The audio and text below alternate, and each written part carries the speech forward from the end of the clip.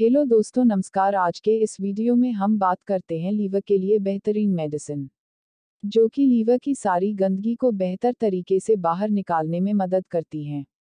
वैसे लीवर की गंदगी को बाहर करने के लिए कई दवाएँ हैं, होम्योपैथी में जैसे चेलिडोनियम मेजस, माइरिका सेरिफेरा, चीनोपोडियम कालमिक इत्यादि, इन सभी से बेहतरीन मेडिसिन हाइड्रेस्टिस है।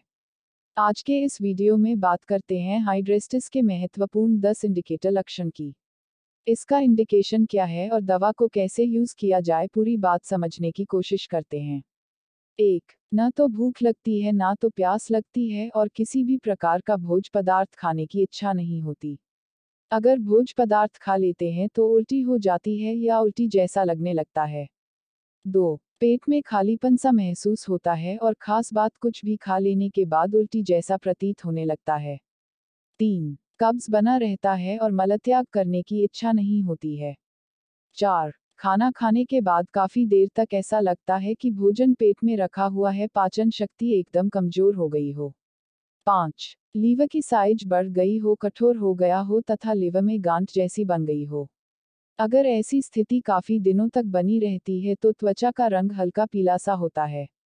आँख की पुतली का रंग पीला दिखने लगता है और दाहिने तरफ़ पसलियों के नीचे भारीपन जैसा प्रतीत होता रहता है। 6. कमज़ोरी लगती है और कमर दर्द करता है।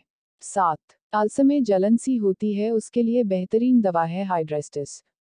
आठ, नाक बंद सी रहती है और ठंडी हवा के झोंके से यह परेशानी और बढ़ जाती है और नाक से पीला श्राव निकलता है। नौ, महिलाओं में अंतरंग होते समय जलन या दर्द होना।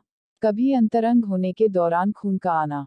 दस। ऐसा प्रतीत होता है कि गले में कुछ फंसा हुआ है और खखारने के बावजूद नहीं निकल रहा है।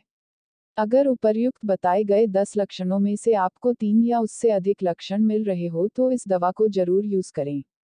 आप होम्योपैथिक के मेडिकल स्टोर से हाइड्रेस्टिस का मदर टिंचर ले लीजिए, इसका पंद्रह बूंद आधा कप पानी में डालकर तीन बार पीजिए।